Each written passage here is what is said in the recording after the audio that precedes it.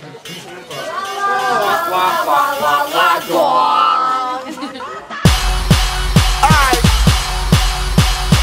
You know we got the raw flush. So basically that means Lights out, game over. Lights out, game over.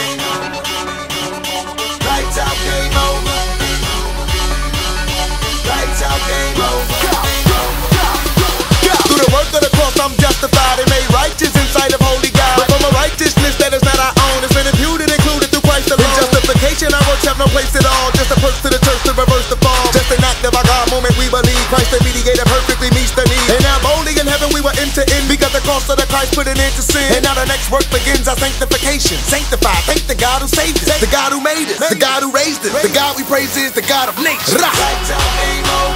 We want, we want. Lights out, game over. Everybody get Oh, yeah, serious, we man. want. Lights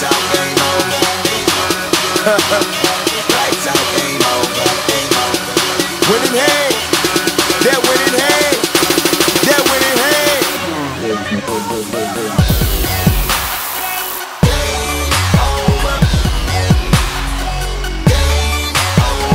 ain't coming what I did.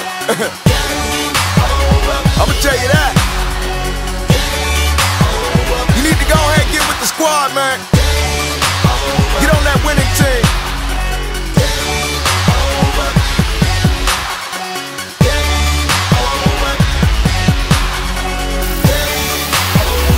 Alright, turn, turn, turn up. And not a hard work of the faith that is evidence after justification, it must begin. And after regeneration, a recreation on a visible mark, regenerate heart. To see the Lord Jesus is giving everything required. He atoned for his own when they crucified him. We are not on our own because our God provided his own Holy Spirit who will come antivirus, he's fighting sin. Inside the saint, so let the fight begin. Or shall I say, let the fight continue. He already won, though they might pretend. And when it's all said and done, he will glorify us. The consummation, culmination, I appreciate propitiation, I appreciate sufficient grace supplier, Messiah.